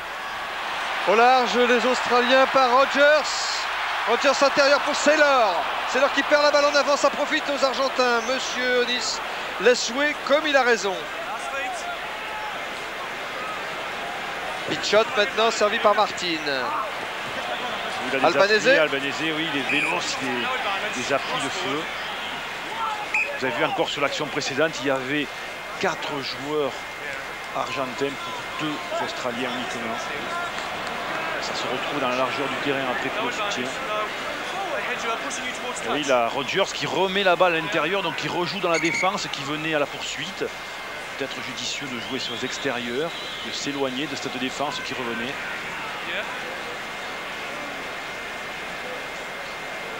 Le jeu est interrompu parce qu'un joueur se fait soigner. C'est Young le pilier. Bill Young me semble-t-il ici à terre. C'est un petit problème au mollet. Bill Young. Qui est le, plus capé d'une première ligne australienne qui n'a pas une grosse expérience internationale. Puisque Baxter, le pilier droit, ne joue que pour la deuxième fois aujourd'hui sous les couleurs des Wallabies et que Cannon, le talonneur, ne compte que 15 sélections. En tout cas, c'est baptême du feu, je dirais, de Baxter. Tout le monde l'attendait au tournant. D'ailleurs, la presse avait dit que c'est dans des matchs comme celui-là, face à une grosse mêlée argentine, qu'on voit si le joueur a des compétences ou pas à ce niveau-là. Euh, Baxter, il était tellement persuadé de ne pas faire partie de la sélection qu'il s'était inscrit à la loterie pour obtenir des billets. Alors c'est vous dire. Écoutez, il en a eu un trop, ce bonhomme. Il vient du Diable Vauvert celui-là. Oui, Martine. euh, sur un service de pitch shot, son capitaine s'approche de la ligne médiane pour les Pumas. Voilà les Argentins dans le camp des Australiens maintenant. Pitch shot, Conte Pomi. Petit coup de pied qui cherche. Et qui trouve une touche magistrale à 5 mètres de la ligne d'essai des Wallabies. Allez, messieurs, allez, comme euh, un ami dit, Philippe Serrier d'Optina, allez au-delà des apparences. J'aimerais bien que ces Argentins, justement, ils aillent au-delà des apparences. Allez, messieurs, marquez, prouvez-nous, vous avez un gros paquet, vous êtes puissants. Et c'est l'occasion, sur cette touche, de revenir au score. 17-3, un essai transformé, c'est 17-10, si je sais bien compter. Ce qui relancerait ce match. Sharp a pris la balle à deux mains sur le lancer de Cannon pour les Australiens. Gregan maintenant qui extrait cette balle. Derrière pour l'Arkham. Allez, bon ballon. Albanese, attention, il est dangereux, il a des appuis formidables, Albanese. Euh, Albanese. Et tout droit à la concurrence. Alors lui, Mais il est allé Ah dans le il mur. Dans le mur, hein, direct. Il est allé dans le mur. Il a rien évité. Hein. Allez, ballon. On recule, on recule au côté argentin. Heureusement que le pilier gauche, votre ami Young, s'est mis hors jeu. Oui. Pénalisé par conséquent. Voilà un moment important, Pierre, dans cette rencontre. C'est la première fois que les Australiens peuvent, peuvent pardon, mettre de la pression côté australien. Ils ont les ballons depuis 5-10 minutes.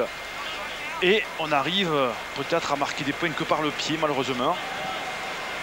Très peu frais. tenter. Un hein. peu frais maintenant. Hein. Tu pas Un peu frais. C'est depuis le début, je trouve. Alors, pénalité pour euh, l'Argentine. Oui, mais ça ne fait que 17-6. Oui, hein. mais attention, hein, euh, les, les Argentins, même battus, il y a des points à prendre. Hein. Oui, maintenant, il n'y a pas 7 points d'écart là. hein, Oui, 17-6. mais en attendant, ça permet de revenir justement, Bon. si ça passe. Je dirais qu'il préfère ça que marquer 4 essais. Je pense qu'ils vont plutôt jouer effectivement la défaite. Et la défaite défaite, par ouais. 7 ou moins de 7 points pour avoir la- le point de bonus. Côté promis. Le plus mal en ce moment. Là, à côté. Et ben là, c'est raté. Donc, il n'y a rien du tout. C'est PED qui coûte cher. hein. PED raté qui va coûter cher, à mon avis, à la fin. Voilà l'importance d'un joueur comme Quesada, qui lui est un métronome dans les tirs au but. Dans le rugby moderne, vous devez avoir un buteur qui est au moins 85, voire 90% de réussite au pied. C'est pas le cas aujourd'hui. Piosag Nunes qui tape à suivre. Allez, Corletto, il faut sauter. Voilà, c'est Cornetto fait, il la récupère cette balle, oui, oui. Cornetto qui est champion de France avec le stade français de Max Guazzini qui vient de m'envoyer un SMS. Merci, monsieur le président. Juan Martin Hernandez, qui est remplaçant de Corletto aujourd'hui, portera les couleurs du stade français à la fin de cette Coupe du Monde. C'est officiel. Pitchot.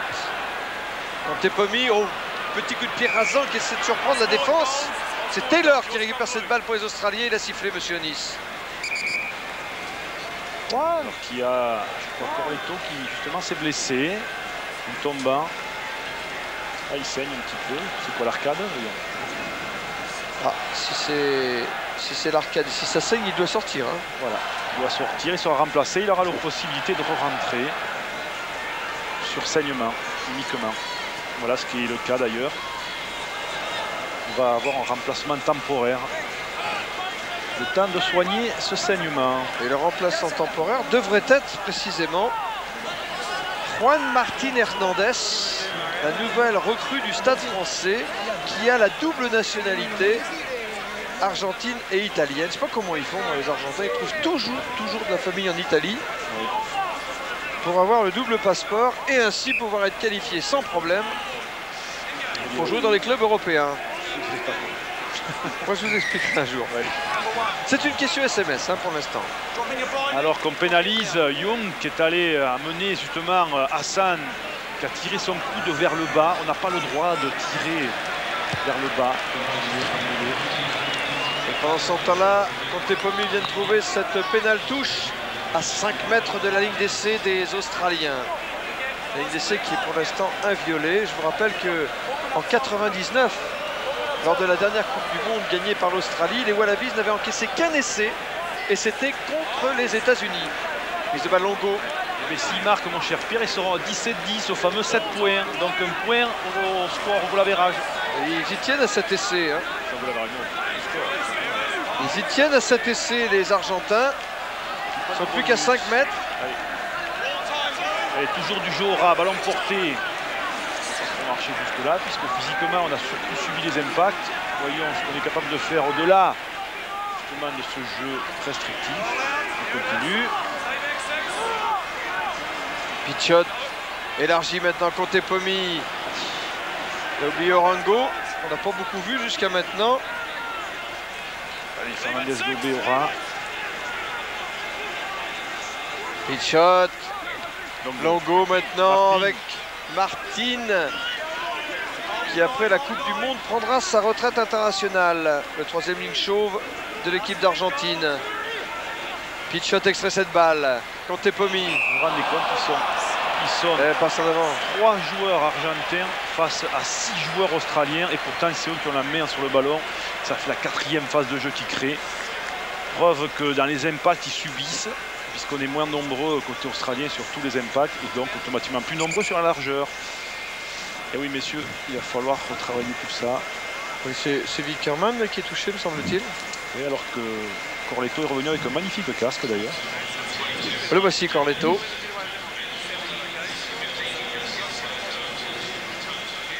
Ce qui avait fait la force, cette équipe australienne d'ailleurs, hein, vous l'avez dit Pierre, c'était la défense en 99, puisqu'ils ont gagné la Coupe du Monde là-dessus. Vous l'avez dit, un seul essai marqué contre, contre eux. Oui, par les Américains. en plus. Ouais, par les Américains. Dans un match sans grand intérêt. Ben, en tout cas, il est toujours efficace en 2003. Donc, ils se sont appuyés sur ces basiques solides que sont la défense, la conquête, l'occupation du terrain. Et ils ont mis un peu plus de jeu au large dans leur panoplie. Ça promet. Oh, quel poussé Argentine, mais les Australiens s'en sortent bien puisque c'est eux qui ont la balle. Maintenant, il faut qu'ils sortent de leurs 22 mètres parce qu'ils ont la pression. L'Arcam s'y emploie. Et Fantôme renvoie le ballon dans le camp des Argentins. Fantôme, ah oui. Oui, c'était son surnom. Après, on l'appelait Bernie. Bernie parce que c'est le nom d'une euh, marionnette ici euh, dans une série euh, dans une série télévisée australienne, une marionnette qui se marre jamais. Il se marre C'est pas, vrai, alors. c'est vrai que Bernie, il a, il a oublié de sourire ou, ou il sourit que quand il lui tombe une dent. Toujours pas. Eh oui. Mais il n'est pas, il est, pas gâté, hein, Ledesma. Il est désolé d'ailleurs. C'est vrai qu'elle n'est pas très droite quand même. C'est Longo qui a fait cette balle en fond de touche pour euh, les Argentins. Donc comme la touche n'est pas droite, ça se transforme en mêlée au bénéfice Alors je vais vous dire, quand, un joueur doute comme ça, après 6-7 loupés, il vaut mieux jouer la sécurité et jouer les premiers sauteurs plutôt que de chercher la difficulté au large en sachant que le joueur a peut-être perdu confiance. Redonnons-lui confiance sur des lancers au près, sur les premiers sauteurs. Mais ce n'est pas le cas en tout cas ce soir. Allez, Gregan. On voit qu'il y a beaucoup de profondeur. On voit côté australien. Dommage qu'il n'ait pas une suffisamment large pour vous le montrer. Alors un départ de Lyon. Non, on va tourner, mais on récupère la C'est balle. sur la ligne médiane, hein, ça. Oui. Gregan attend ce ballon. Le voici. Gregan pour l'Arcam. L'Arcam pour Flatley. Ah, c'était une passe Dans les pieds, oui. dans les pieds que n'a pas pu contrôler Rogers. Alors qu'il y avait un décalage au bout. Roger, c'était dans l'intervalle. Il était dans l'intervalle sur cette action en première main. Alors là aussi, on parle beaucoup de défense organisée. 13 fautes de main pour euh, Ouais, ça fait trop. Hein, les Australiens, c'est beaucoup. Hein.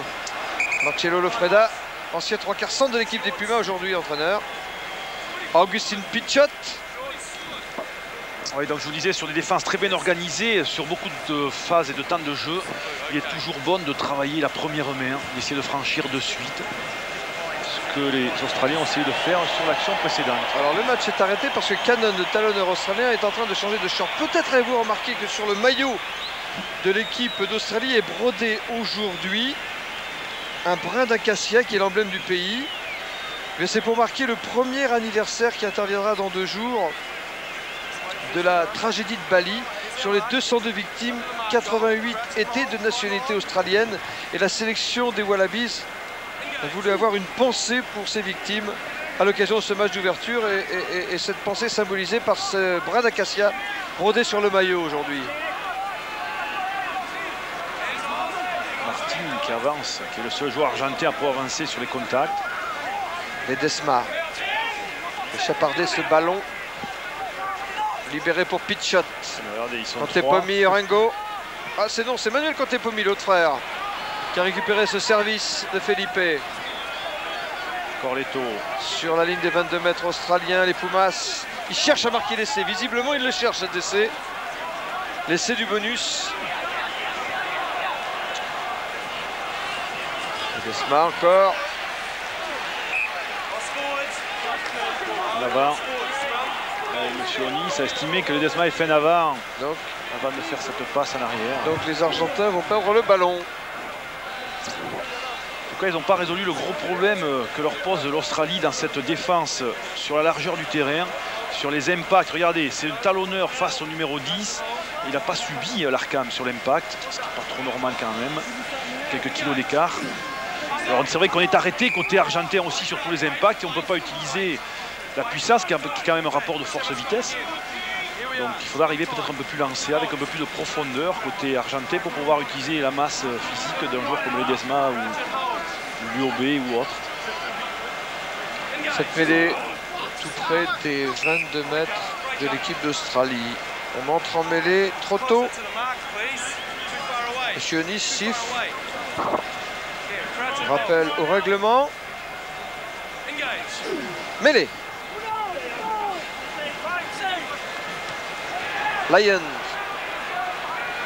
Oui. Oui, qui a libéré cette balle pour Gregan. Gregan maintenant. C'est Vickerman qui libère pour Gregan. Rogers derrière ses 22 mètres.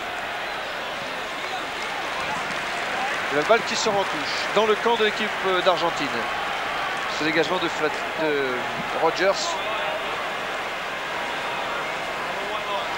Vous savez que Rogers et- et Saylor, l'auteur de l'essai en première mi-temps, étaient deux stars du rugby à 13 ici en Australie. Elles ont été débauchées à prix d'or pour renforcer les Wallabies dans la perspective de cette Coupe du Monde. Longo gagner la balle pour les Argentins.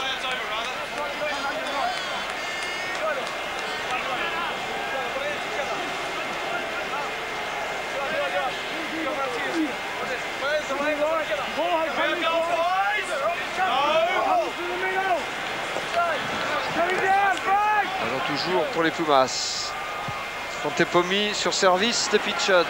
Up and under. Va contrôler ce ballon par Rogers. Ça profite aux Argentins qui peuvent contre-attaquer par Piosek Nunes. Et on enchaîne. Fernandez Lobé est très présent aujourd'hui d'ailleurs sur ce match.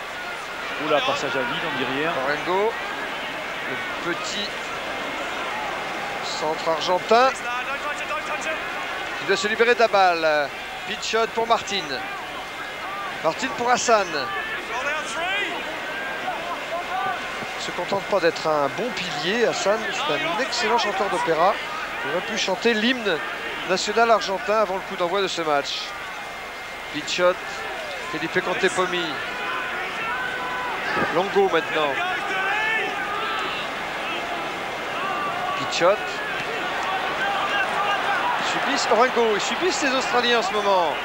Orengo toujours, qui a porté les couleurs de l'USAP et de Grenoble. Desma. Pitch shot. Contepomi. Felipe Contepomi qui rentre dans les 22 mètres de l'équipe d'Australie.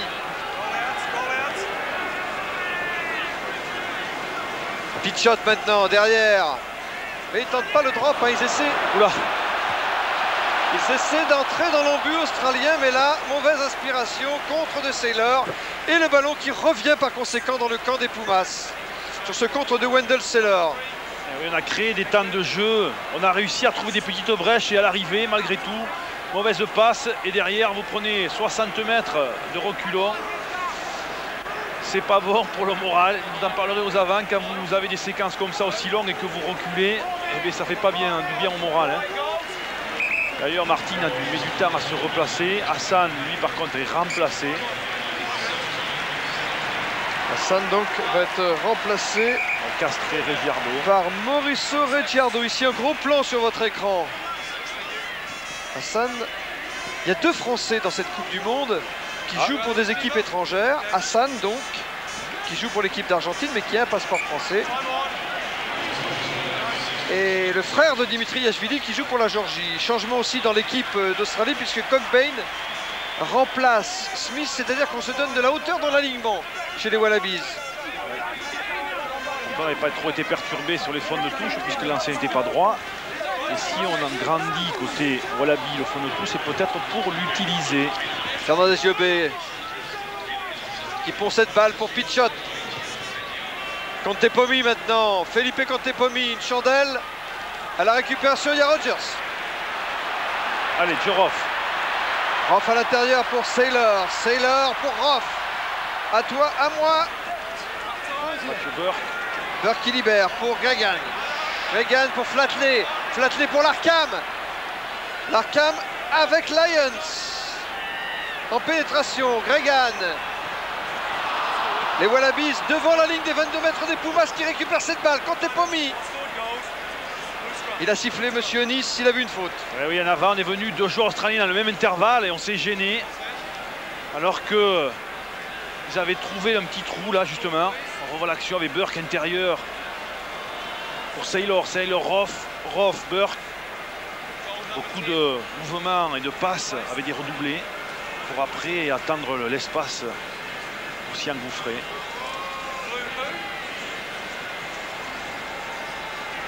Encore un joueur argentin au sol. On fait appel au kiné. Le match est par conséquent arrêté. On va procéder à des changements. On va procéder à des changements. Alors je vois que c'est l'Arkham qui sort, me semble-t-il. Donc Flatley va passer, selon toute vraisemblance, Flatley va passer à l'ouverture dans ce cas-là. Et alors normalement c'est Majito qui devrait jouer au centre. Voilà, avec son casque jaune. Matt Chito révélé ces derniers mois en équipe d'Australie. Les voici. Alors, est-ce que vous pensez qu'il sort parce qu'il est blessé ou parce que Eddie Jones, le coach, estime que son équipe a suffisamment la main mise sur cette rencontre malgré un score quand même de 17 à 3 qui n'est pas énorme hein? Joker Thierry. Joker. Moi je penserais plutôt que M. Eddie Jones veut le, le faire se reposer, pas trop l'user. Il voit que le- son équipe a la main mise sur ce match.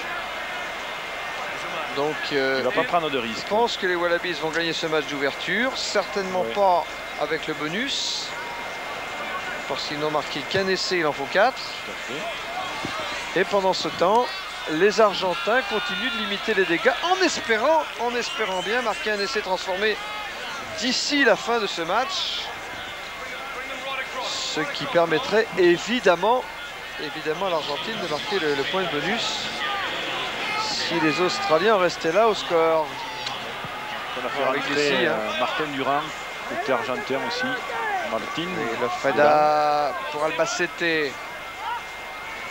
Pichot.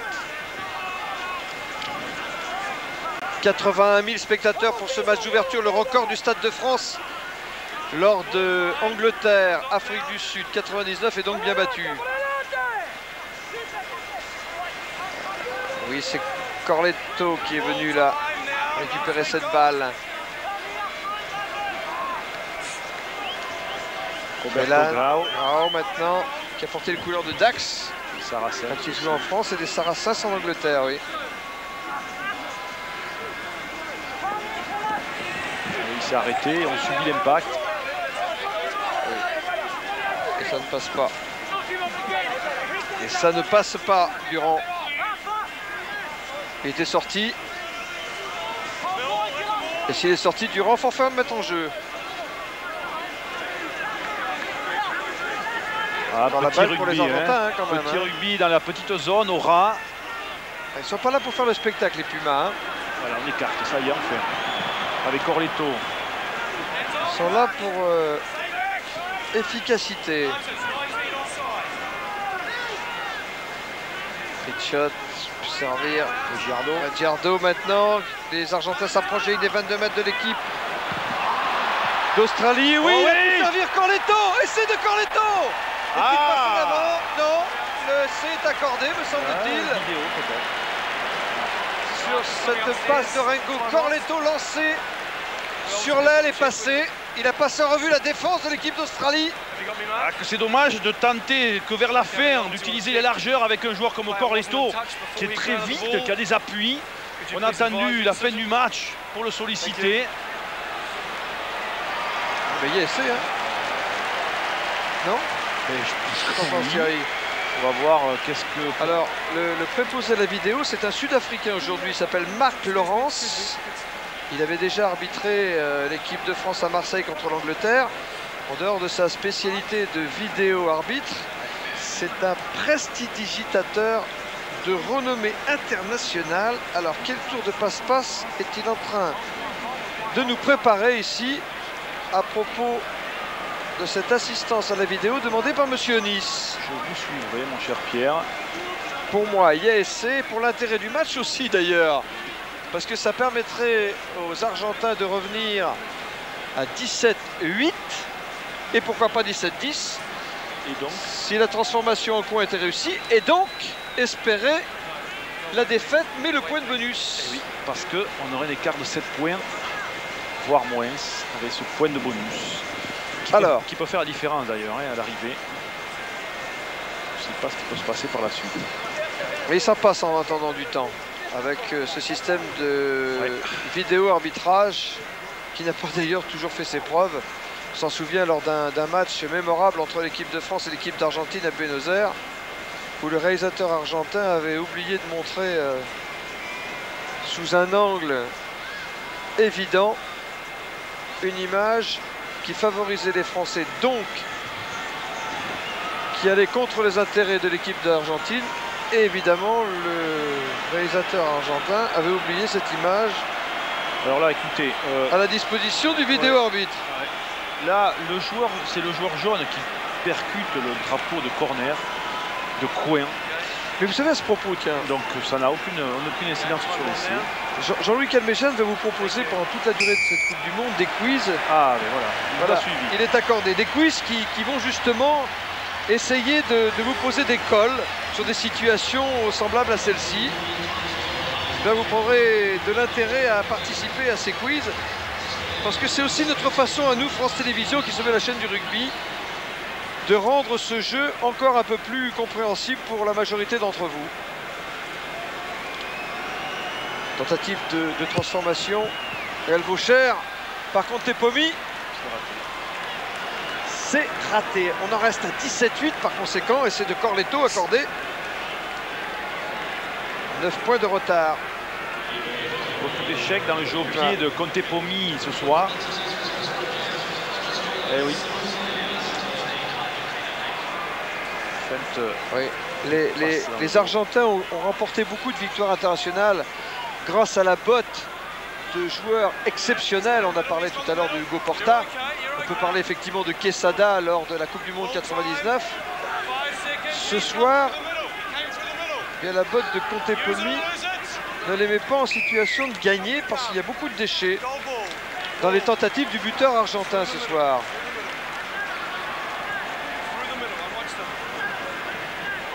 Une mêlée qui va être jouée dans le camp des Pumas. On procède encore à un changement. Jérémy Paul, le talonneur qui va remplacer Canon. Jérémy Paul, action de dossard numéro 16. Alors la particularité de Jérémy Paul, c'est qu'il est né en Nouvelle-Zélande. Il aurait pu donc euh, jouer pour les Néo-Zélandais, mais il est venu très jeune en Australie. Il a appris son rugby en Australie et il est Wallaby. Par conséquent, Flatley. Flatley plaqué devant la ligne des 22 mètres de l'équipe des Pumas. Gregan. On attaque au large avec Roff qui s'infiltre. Roff qui slalom. Roff qui marque l'essai. Le deuxième essai de l'équipe d'Australie ce soir face à l'équipe d'Argentine. Il est signé Joe Roff.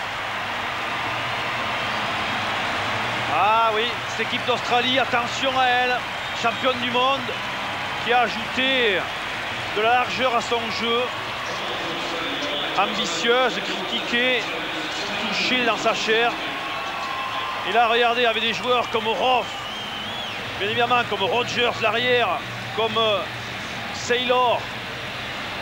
Comment ne pas utiliser des joueurs avec ce talent-là? Et là, et là, preuve. et là pour les Argentins, je crois bien que le cochon est en train de faire des dégâts dans les maïs ou dans les vignes de Raziguer. Parce que Flatley réussit la transformation. Ça fait 24 pour l'équipe d'Australie et 8 pour l'équipe d'Argentine. On ne parle plus de bonus pour l'instant de part et d'autre, à moins, à moins que, en cette fin de match, les Australiens qui vont reprendre maintenant qui vont reprendre la main peut-être grâce à cet essai de Roth, à moins que les Australiens ajoutent deux essais supplémentaires au panneau d'affichage en leur faveur. Mais c'est pas comme ça, laissant tomber les ballons, Monsieur Lyon, récupéré par Pichotte. Allez, Regiardora. Pichot. Orengo. Qui libère cette balle. Félan. Intervention de Monsieur Nice. Ça n'a pas profité, la Navan australien n'a pas profité. La Navan de Lions, on reviendra à la faute avec une introduction à Augustin Pichotte d'une mêlée argentin. Mêlée devant les 22 mètres de l'équipe d'Australie. Introduction Pichotte. Le capitaine des Pumas. Longo libère. Longo encore. Longo toujours pour Pichotte. Contepomi. L'autre Contepomi dans les 22 mètres d'équipe d'Australie. Mais le ballon est récupéré par les Wallabies qui vont peut-être pouvoir contre-attaquer par Burke notamment. Prof. Dans le deuxième essai tout à l'heure. Lyon qui s'était fait oublier depuis un bon quart d'heure. Gregan. Cito a pu servir. Bien soutenir. Le ballon reste-t-il pour les Wallabies?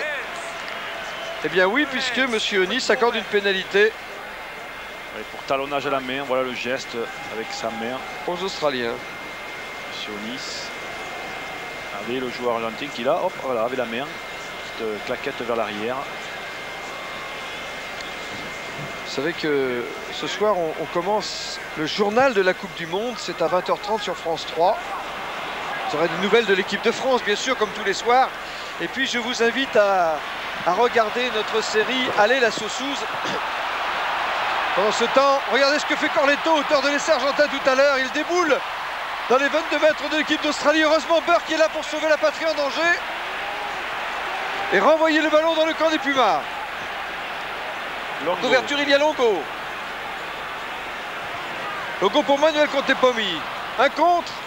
Et la balle qui sort en touche. Oui, je vous disais que je vous invite à suivre notre série Allez la sauceuse parce que pendant que les grands ici disputent la Coupe du Monde, eh bien le rugby continue dans la France des petits clubs.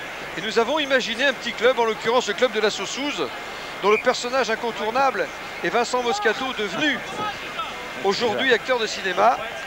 Et nous vous raconterons à, travers cette série les bonheurs et, les petites misères de ces petits clubs qui font la, France du rugby et qui alimentent l'équipe de France en, en joueurs de talent.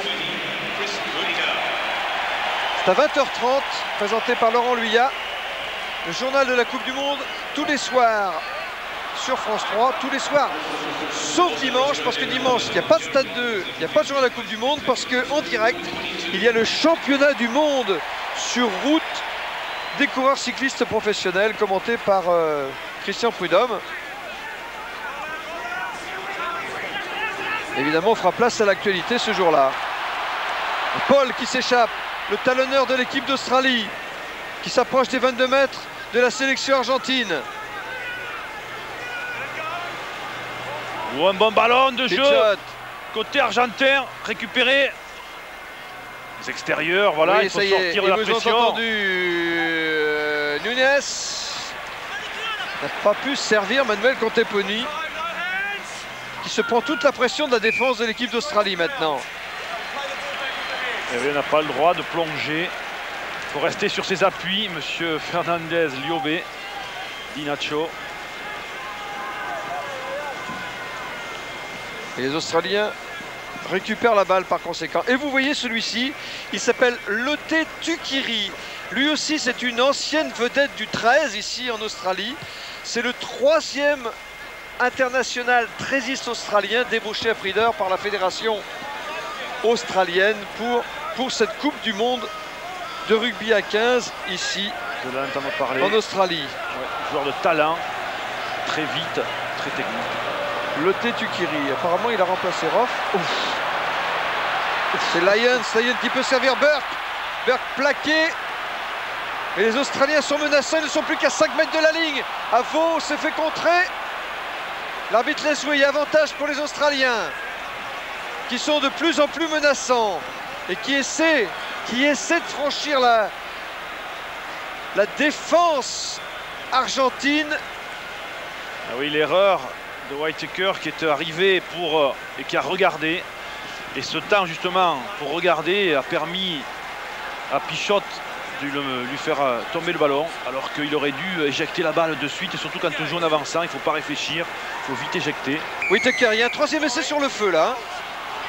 Mais les écroulé, pénalisé les Argentins, pénalisé. Là, là ils, sont, ils sont mal. hein. Ouais, Darwin, numéro 17. Ils sont mal, les Australiens, dans ces situations, parce que quand on a affaire à la première ligne argentine, évidemment, on souffre. Et Darwin, là, il n'a pas résisté. Et les Australiens pénalisés, ça permet aux Argentins de, de libérer un peu cette pression qu'ils avaient depuis un bout de temps. Sacré client, Regiardo, le pilier qui est rentré, pilier gauche, rentré argentin. Les Esma pour la remise en jeu. Écoutez, encore Charles. un ballon chippé. Il n'y a pas eu un seul lancé en touche argentin réussi ce soir. On appelle ça des lancers à la pizzaiolo souvent. C'est vrai que quand on lance une pizza, ça va pas trop droit en général. Intervention de Monsieur Nice. donner l'avantage aux Argentins. Il regarde sa montre et il siffle le coup de sifflet final. C'est fini ici donc à Sydney. Match d'ouverture. Victoire de l'Australie par 24 à 8. L'Australie donc qui gagne son match. L'Argentine qui ne limite pas les dégâts puisqu'elle ne prend pas le, point de bonus. Match d'ouverture serré. Merci messieurs, on se retrouve euh, tout à l'heure, 6h25 du matin. Vous n'allez pas vous coucher surtout, il y a trois matchs en direct avec euh, Nouvelle-Zélande-Italie, donc 6h30 précise, Irlande-Roumanie à 9h et l'entrée en liste de l'équipe de France face aux Fidji, ce sera à partir de 11h30. La journée ne sera pas terminée sur France Télévisions puisqu'à 16h15, vous aurez rendez-vous avec le Rugby Club, une heure et demie en direct avec l'équipe de France. Les joueurs seront nos invités après donc euh, leur match et leur victoire, espérons-le. Et enfin 20h30, comme tous les jours sur France 3, le journal de la Coupe du Monde, une dizaine de minutes pour euh, tout voir et tout savoir de la journée ici à Sydney. À tout à l'heure.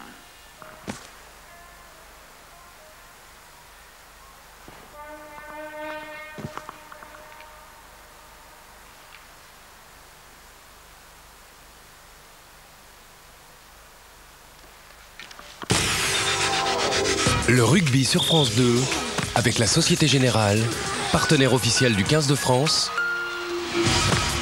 et Peugeot 206 RC, partenaire officiel de la Coupe du Monde de rugby. Position de la saison, mais l'essentiel est ailleurs.